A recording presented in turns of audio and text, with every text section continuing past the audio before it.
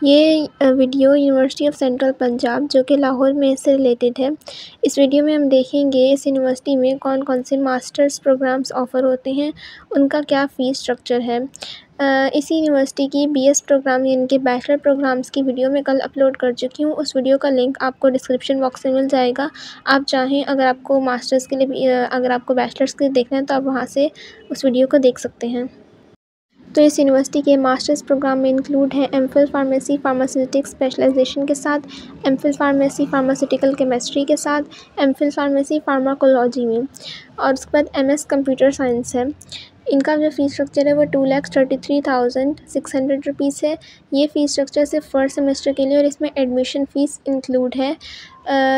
Admission fees किसी program के लिए ट्वेंटी फाइव थाउज़ेंड है, किसी के लिए ट्वेंटी सिक्स थाउज़ेंड है।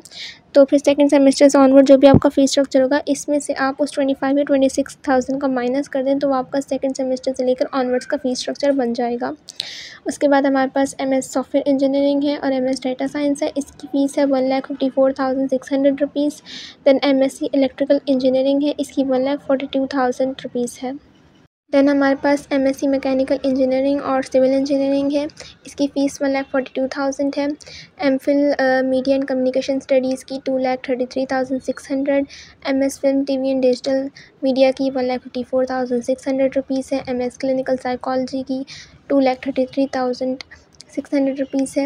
एम एस इकोनॉमिक्स की one lakh forty two thousand है। एम फिल इंटरनेशनल रिलेशन जिसे हम आई आर भी कहते हैं, इसकी one lakh eighty one thousand है। एम एस बायोटेक्नोलॉजी और बायोकेमिस्ट्री की two lakh thirty three thousand six hundred rupees है।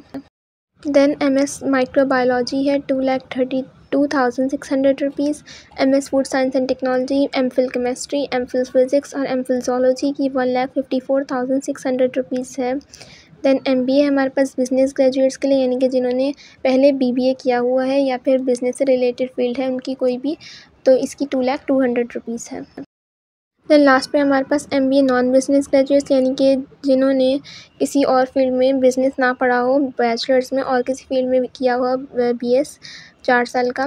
तो उनके लिए one lakh eighty four thousand fee है एम बी एग्ज़ैक्टिव ये एम बी ए होता है, लेकिन इसका एक लेवल अप सा होता है।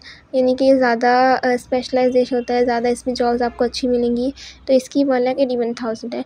एम एस बिज़नेस एडमिनिस्ट्रेशन की two lakh thirty two thousand है M S accounting and finance की वन एटी वन है M Phil accounting and finance की टू लाख टू हंड्रेड है M M S applied linguistics और एम एस इंग्लिश लिटरेचर दोनों की one lakh forty two thousand rupees है। तो ये थी इस यूनिवर्सिटी के बारे में सारी इन्फॉर्मेशन आई होप आपको वीडियो अच्छी लगी होगी तो सपोर्ट करें और सब्सक्राइब करें ताकि इस तरह की और वीडियोज़ भी आपको मिल सकें।